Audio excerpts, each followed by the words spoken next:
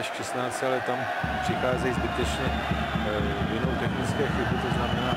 Teď musím eh, skočit Láďovi do řeči, ano. protože na hřišti je člověk navíc. Uh, no, to je výborné. Nějaký teda. Jouda přeskočil hrazení a stal se na pár minut slavným. No. Tak přeskočil hrazení. A Hlavně, že dostane toho panáka, no taky má krásný oděv. To je nádhera. A přeskočilo mu v hlavě.